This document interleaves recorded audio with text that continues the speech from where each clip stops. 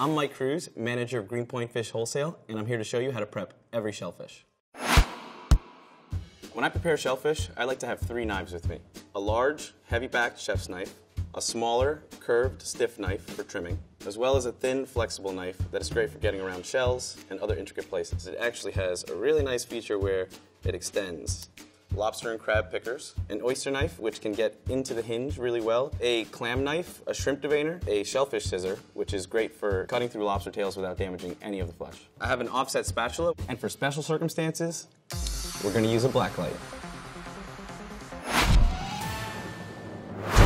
Blue crab.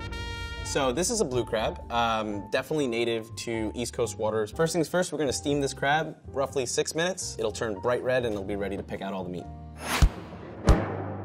We'll pick the crab up, starting with its front claws. We'll just pinch straight from where it connects to the body, down and out. Same with the other side, down and out. And we'll do the same for all the legs and the back swimmers here. So now we're left with just the body. We'll flip the crab upside down and lift up the apron here. And this will just snap right off, exposing a opening there where we'll get our thumbs in and just peel off that top shell. Now here we have some gills, some other organs, and we're just going to remove those. This is the faceplate, which will also just peel right off. Clean out any excess organs from the center cavity, and we're just gonna crack this right in half. Going to peel back these little layers of cartilage that hold the meat in, and using now our little picking tool to just very gently start pulling out that really delicate, sweet crab meat. The meat will be covered with a super thin membrane. It just really easily peels right off. And you essentially just want to get your skewer into any little crevice that you find and pulling straight out and getting out every little last bit of meat. That's your body. Now with the claws, separate out the pinchers, the legs, tiny little knuckles. We're just gonna come in on the most rounded part and just start snipping away crack that shell open and pry that claw meat right out of there. Also, the leg. There really isn't much meat in these little back legs here. The best thing I would do with these is just suck them dry. It's really delicious. That's pretty much how you break down a blue crab. Soft shell crab. This is a blue crab that has molted. So basically they're changing shells and during this phase their shells are soft. You can actually eat the whole crab this way, shell and all. Currently they are out of season. So right now we have a frozen soft shell crab. The head of the crab is here and that has a bunch of organs in it that we won't be eating today. Your first step is going to be just to snip right behind the eyes there. Discard that section. After that, we'll flip the crab over. We'll remove this apron section here and lift up actually the top shell and expose the gills here. And we'll just trim those off. Same thing to the other side. So this is a completely dressed, ready to eat soft shell crab. This thing deep fried in a sandwich, perfect. Dungeness crab. These are a West Coast species of crab. Really, really sweet, really delicious, really tender meat. When purchasing all live shellfish, you want to make sure that they're alive. Look at their eyes, make sure that they're convex and round, not concaved and sunken in. People tend to steam them mostly. You want to aim for 10 minutes per pound, and you can add on about five minutes per pound after that. So this is a cooked Dungeness crab. We're gonna pick the crab up, and we'll start by just breaking claws off. From the joint down here, we're just gonna pull down and twist out. We'll do that for all of these. You wanna really make sure you're at the joint when you do this. Now that the legs are removed, we're gonna start and just focus in on the head. Flip it over, and we're going to remove what is called the apron of the crab. This just pulls right out really easily. And now that leaves you with a cavity. Put your thumbs in like that and just pull back the head. This is what's called the uh, mustard of the crab. And this is really delicious, so do not throw it out and just hold it off to the side for now. So now we're just gonna focus in on the meat that is in the actual body itself. So we'll be taking off these gills here, which you do not wanna eat. Any extra pieces that are kind of getting in your way with your hands for now. This is the mouth organs. We'll just snap those off easily. Now, crack this crab in half, which you can do with your hands. You'll just turn it away from you and just pull apart. One more time. So essentially you're cracking this into quarters.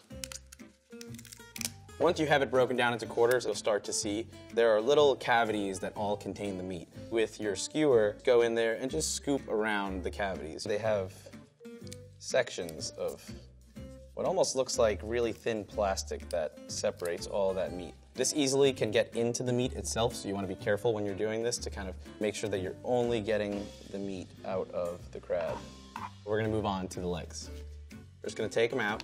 This first little digit here we can just remove and toss, and then we'll just break it down on the joints. I'll snap one way until it's free, and then coming out the other way. And ideally this will take out any pieces of cartilage with it. If you have a pair of shellfish scissors here, they're curved to avoid any meat. So you can just come straight in and just cut that. And you can crack the shell right open and pull out some really beautiful full pieces of crab leg. And we'll use our skewer just to scoop it out. So that's a leg. Now we'll do a claw. Again, putting pressure on the opposite way of the joint. Remove this section first, then the knuckle, and then the actual claw on the hinge. Just pop it once until it breaks on that side, bring it back the other way, and you should be pulling out that entire cartilage piece there. That's right in the middle of all the meat in your claw. Take the scissors, and we're just gonna cut. Go through the knuckle, through the claw.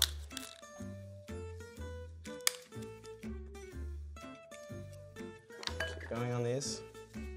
Really beautiful, full piece of leg. And that's how you pick crab legs. A great way to find any extra pieces of shell that may be stuck in your crab meat is a black light. I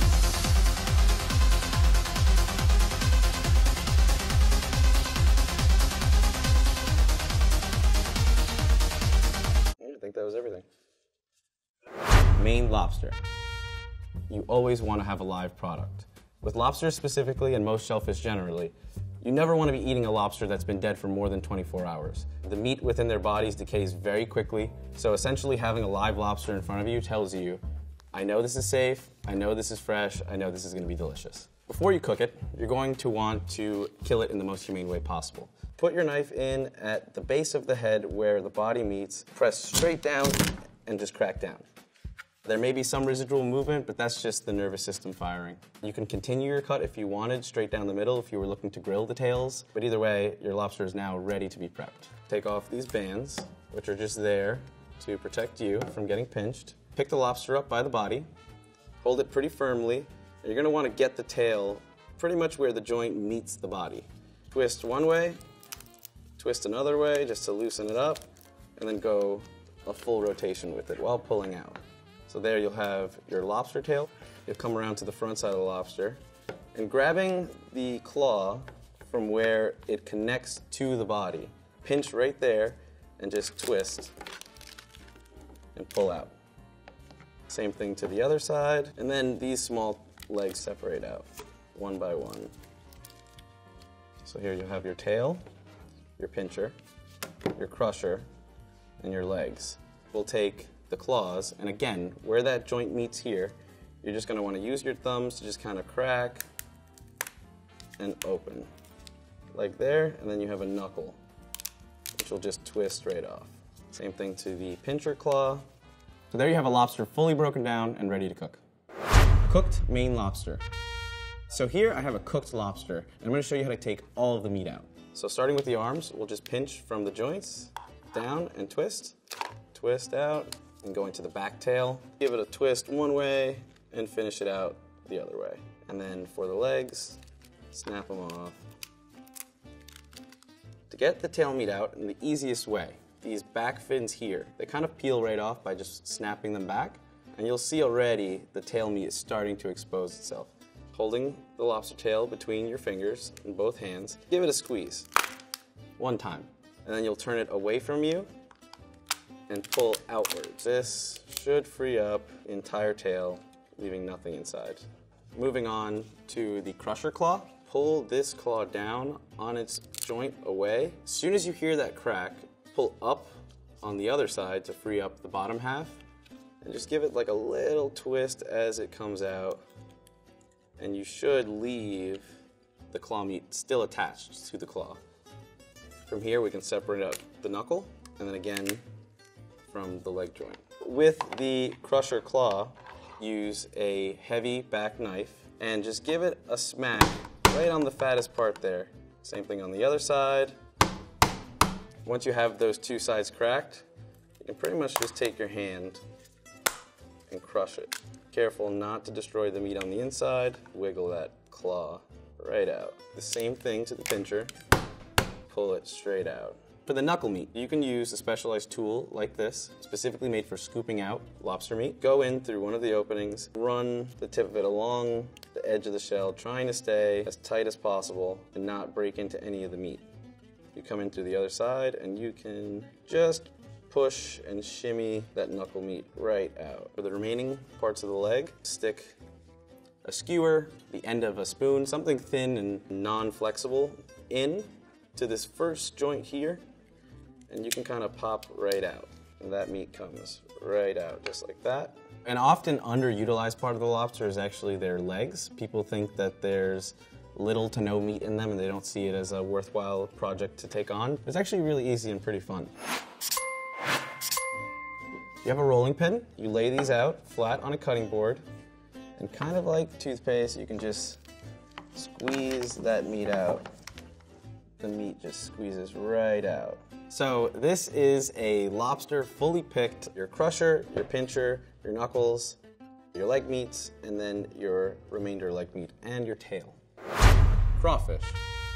This is a live crawfish. They're actually capable of traversing um, small distances of land. Whenever I get these in in my job, You'll find them in the office, you'll find them in the locker room, you'll find them in the bathroom. When you least expect it, you look down and there's just a crawfish waiting for you. So, and they're really fun and easy to make and eat. So if you're doing a crawfish boil, I would definitely suggest maybe 10 to 15 minutes for a big pot of them. Just let them cook with everything and pull them out once they're bright red. So here we have our cooked crawfish. They're like mini lobsters. So what you want to do is separate that tail from the body, hold on to the tail, and just give it a twist. This is what you eat on a crawfish, but it's not the only thing you necessarily enjoy. You want to make sure to suck out all of these delicious head juices. It's just delicious. So for the tail, these little back fins back here, peel those off quickly. Ideally, that will also remove any sort of intestinal tract. You can just peel them right out of their shell, super fast and easy. Simple as that. Delicious. Langostino. Langostino is actually a catch-all term for what is a type of squat lobster. We are going to remove these back set of fins off the tail, pull right back, and just twist them off. The meat from the tail is exposed. Grabbing it in each of its sections between two fingers, I'm just going to squeeze until I hear a crack. I'm going to do that for each little segment here. This one actually has some really gorgeous blue eggs underneath it. Continue to peel the shell. Basically, this thing will just peel right off in individual segments, all the way down. And we'll do the same thing to the other side. Once that's done, you can flip it over and just start peeling it back and just revealing that really gorgeous flesh. Snap that bottom membrane and just very gently peel it. And you will be left with an absolutely gorgeous langostino. I would just barely poach this thing, or really ideally just serve it raw like this. American white shrimp. We have the head on with this guy. So what we'll do, just grab the head with one hand, grab the tail with the other hand, and you're just gonna twist it off. I have a shrimp deveiner. Flatten the shrimp out in your hand and extend it. You're gonna go all along the top shell of the shrimp and then come out right before the tail. And now, with our hands, we can just go in and just remove it segment by segment. You can choose to leave the tail fins on or you just peel them right off. Now what you're gonna do is run your knife just along the top of the shrimp, gently exposing where the intestinal tract will be, making sure there's nothing there, and there you will have a peeled and deveined shrimp. Prawn. Prawns and shrimp, very similar. Prawns have an extra set of pinchers right up in the front.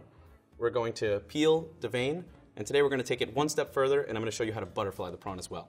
First things first, we are going to remove the head by holding onto the head and the tail separately and just twisting off.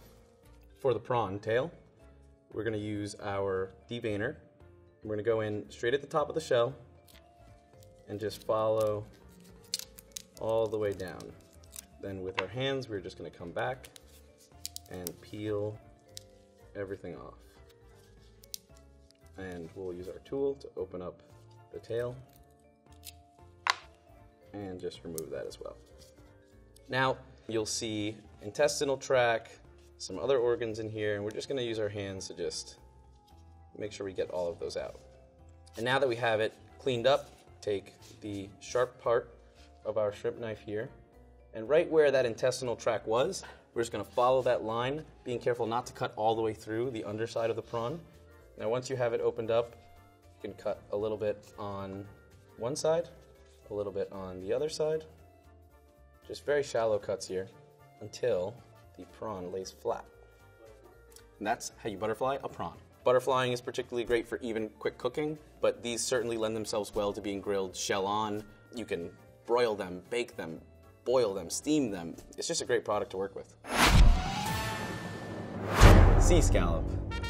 Live sea scallops are bivalves, which essentially means they have two shells, a top shell and a bottom shell, which are joined right at the end with a hinge. Locate the top shell, which is always going to be more rounded, and the bottom shell will always be a little more flat. Enter the scallop in from the back shell, not the top shell. I like to stand my scallop up on the hinge, locate where the gap is, use my knife to really wedge it open and my fingers to hold it there. I'll stick my flexi knife underneath the eyes, peel them back slightly, locate the muscle, and really staying tight to the back shell and going slow. I'll just wiggle my knife straight down until it frees open that muscle.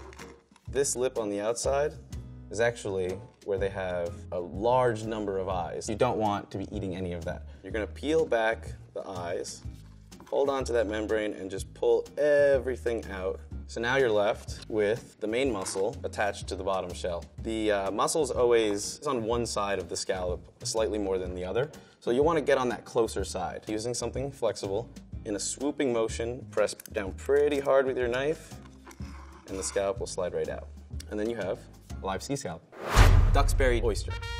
There are lots of different types of oysters out there. Generally speaking, there's one way to shuck them. You have a flat side, and then you have a cup that holds the meat. So you're gonna wanna turn the cup down on your cutting board and get a good grip on it flat.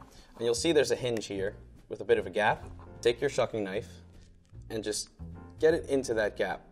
To get a little bit deeper, you're gonna wanna put some pressure going this way towards the front of the oyster while also wiggling. But you don't want to be pressing so hard that if you slip, you have a bad accident. There's no rush with this. You'll feel it. And once the knife is stuck in the oyster, Give it another little wiggle just to crack the oyster open slightly. Take the knife out and come along this side closest to you with just the tip of your knife. You're going to be wiggling and staying very tight to that top shell until you cut the first muscle holding here. You'll do the same thing on the other side. You should have a fairly clean oyster. There's one more muscle down here that's also holding the meat onto the bottom half of the shell. So you'll come in, careful not to spill too many juices, and you'll just sort of free up that one side. And there you go, a shucked oyster ready to go. East Coast oysters are definitely a favorite amongst a lot of people, especially here on the East Coast. They have a higher salinity to them. They're more briny, so that's going to equal more salt in the flavor of your oyster. Baywater Sweets. These come from uh, the West Coast out of Washington State. Same as always, the shells on these can be a little brittle, so you will want to take extra caution. And their hinges sometimes are covered by extra pieces of shell that kind of come up. Wiggle, wiggle, wiggle until you start to feel yourself about to get in, and you just pop. You're all freed up. There you have a shucked West Coast oyster. I could definitely crush a dozen of these easily. Mm. European flat, also sometimes known as Belon oysters. First step for these is to remove the band. So you find the hinge right where the two shells connect, but just don't stop wiggling, don't stop pressing, and you'll feel it start to go slightly in more until you get that pop. Get that hinge free. I'm trying my best to keep the oyster as flat in my palm as possible just to not leak out all of those juices. Free up that bottom muscle. And there you have a European flat shucked oyster. I don't like these oysters, but I'm gonna taste it. Yeah. All right. it's like uh, licking a battery. Prince Edward Island mussel. These mussels come from Prince Edward Island off the east coast of Canada. One important thing, if it's alive, it should be tightly shut. Or if it's open a little bit, pretty much as soon as you touch it or tap it or give it a squeeze or something like that, it should shut up by itself. Within the mussel, there's probably going to be a little bit of sand and grit, so definitely take at least a minimum of an hour uh, to purge your mussels and give them time to release that sand. Your next step is essentially going to be removing the beard of the mussel, which is what the mussel uses to attach onto rocks or if they're farmed uh, onto the ropes that they're hanged from. You'll find it on the flat end of the mussel. Kind of looks like hairs. So you're gonna wanna grab onto those, get a good grip on them as you wiggle, wiggle, wiggle. Once you have the beard exposed a little bit more, you'll pinch it between your two fingers, really focus on the wiggling, wiggling, wiggling, and then it'll just pop right out. And your mussels are ready to cook. Hard shell clams. Depending on where you're from, you're gonna call them something different. A little neck, a count neck, a cocktail clam. Some people will call this a top neck, a cherry stone. At the end of the day, they're all hard shell clams. You're absolutely going to need a clam knife. One side, the back of the knife, totally flat, um, super thin blade, and a slightly sharpened edge. It helps to slip into the clam easily. I like to check out the lip of the clam, find the slight gap within it, set my knife in that hinge, squeeze, and sort of wiggle a little bit until you find that opening. It's gonna wanna be pretty tightly closed. So you're just gonna pop it open slightly. Once you have that gap ready, you'll come in along the sides, just scraping the very top of the clam. Cut one of the muscles that's holding it on that side, and you'll do the same exact thing on the other side. Stay really tight to that top shell, until you feel that pop. Once you do, you're gonna scrape that top shell until it just pops right open. Separate from one bottom hinge here, one bottom hinge on this side, free up that meat, and you have a shucked clam. I think they can stand up to oysters. Soft shell clam. Also known as a steamer clam, we're just gonna wanna do a very quick blanch, basically just a flash in the water right out, and into an ice bath. You essentially just want the clam to separate from the shell and make it really easy to work with. So after blanching, you'll see that the clam has opened up.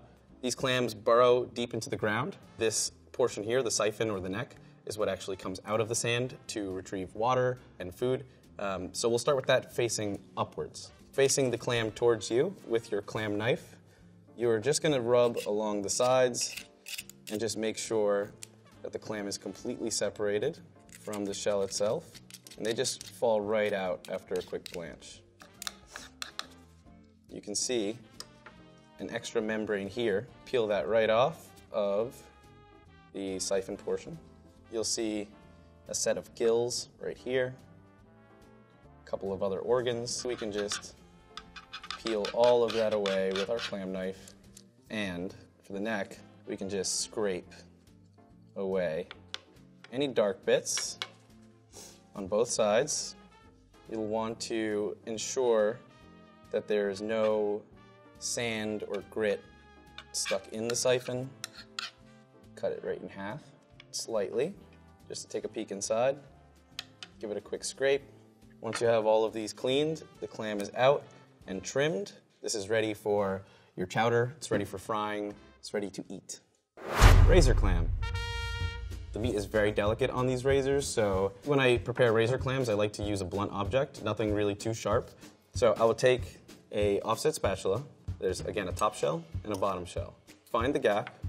You'll see some meat being attached to the membrane on the top shell, same on the side shell. Enter in really tight onto that top shell and just start peeling away the membrane. Making sure you take your time to get everything off. Once that side's free, flip it. We're gonna do the same exact thing to the other side. And once it's open, the top shell should just peel right off. Scrape out anything that's stuck.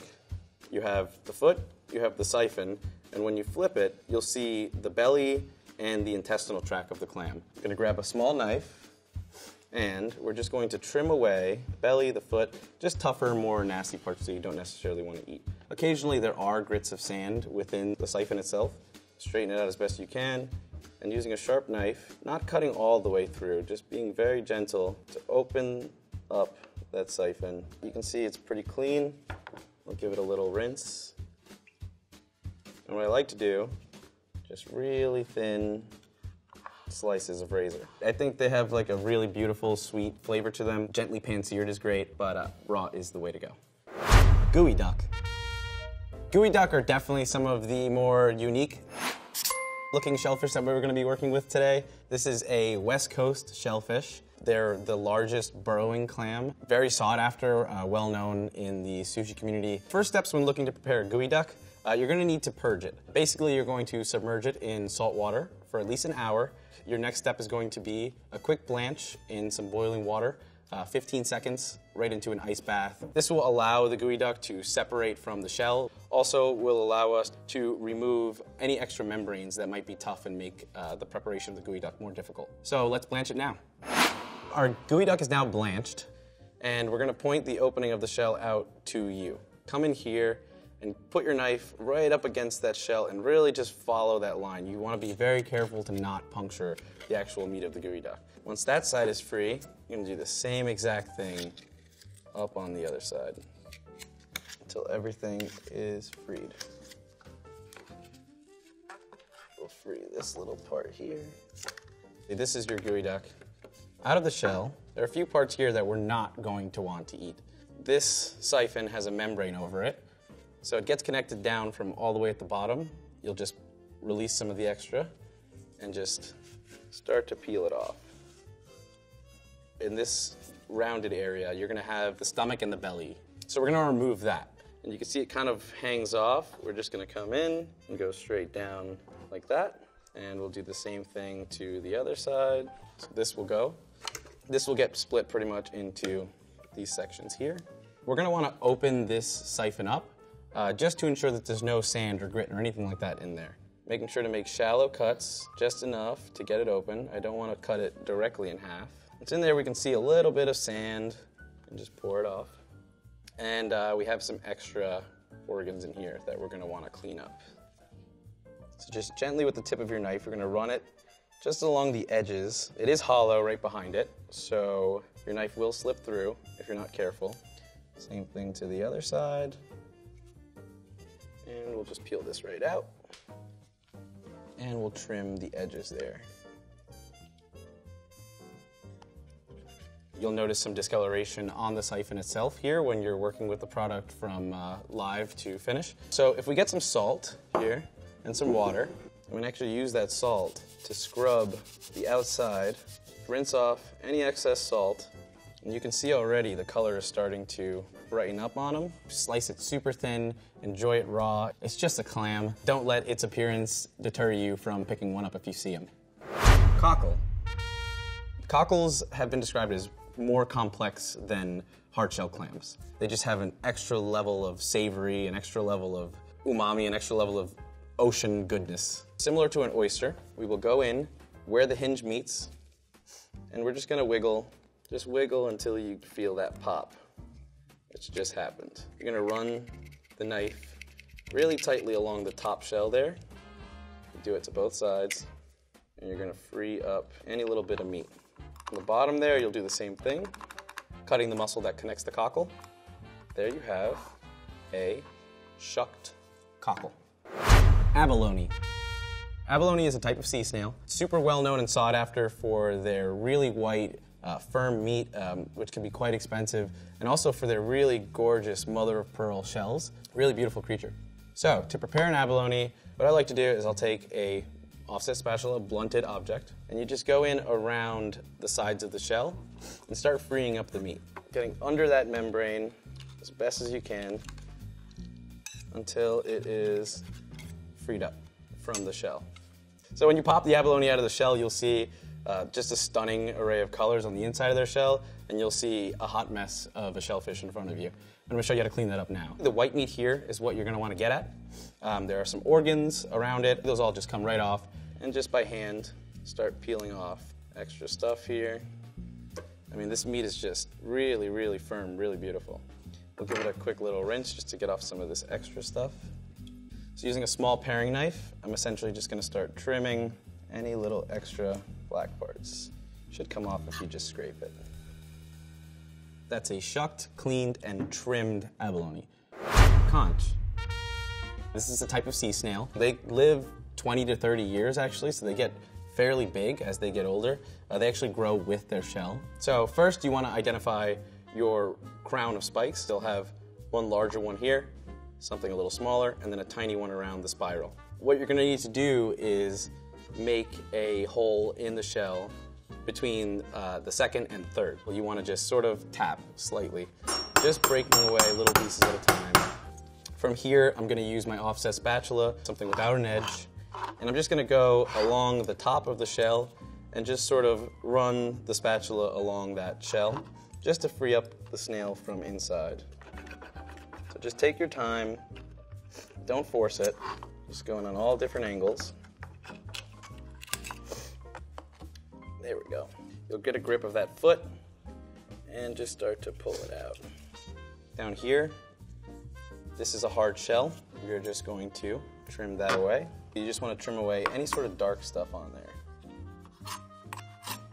You are left with a really nice, firm piece of shellfish that lends itself really well to being sliced very, very thin.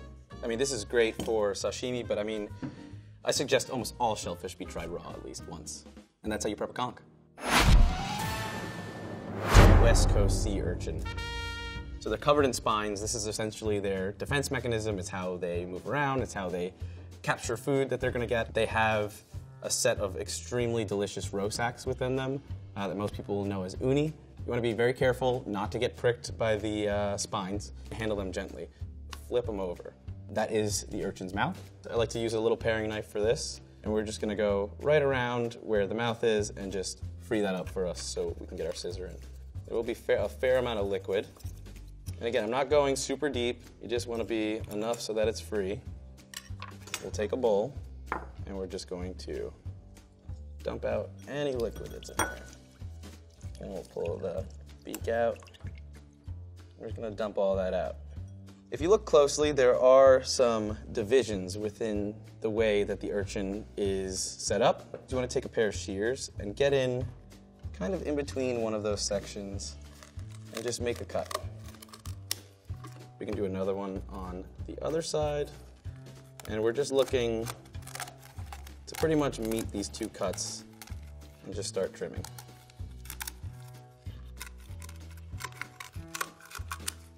And they kind of just peel right off.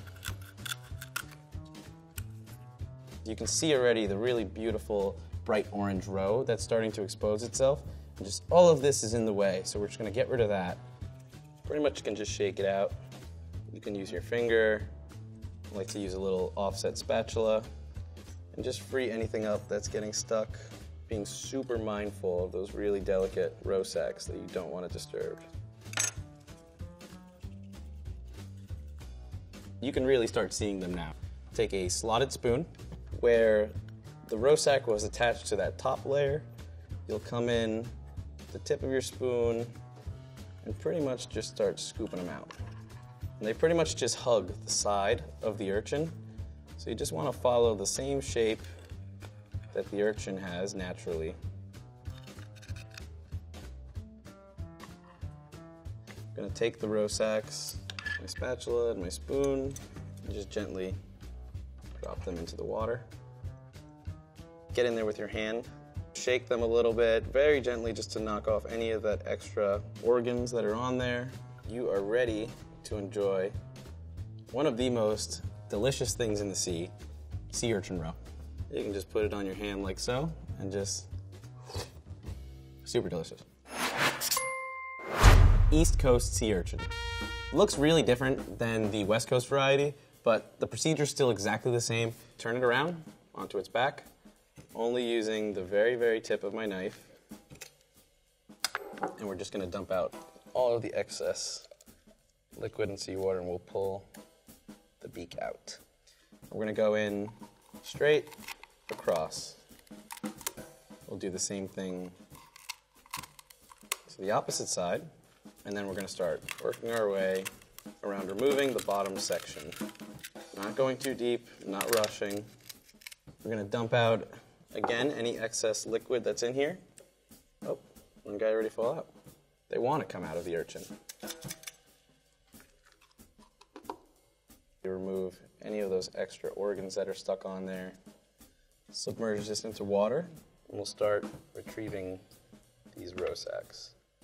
There, really gorgeous, East Coast sea urchin roe. Nothing's better than urchin, honestly. this, this is great.